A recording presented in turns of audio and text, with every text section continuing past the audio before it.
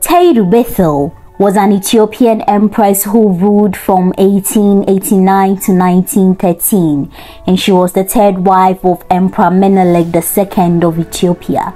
Empress Taytu was a major force behind the establishment of Addis Ababa, the capital of Ethiopia, and she also played many roles in military campaigns and foreign relations.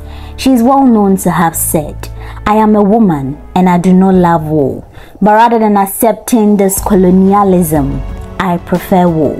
After Italy occupied Eritrea, she joined the negotiations that led to the signing of the Treaty of Wuchale, which established the borders between Ethiopia and the Italian-controlled Eritrea. Empress Taytu helped lay the foundations for modern Ethiopia. As such, her legacy has become a significant part of the Ethiopian history. Subscribe for more.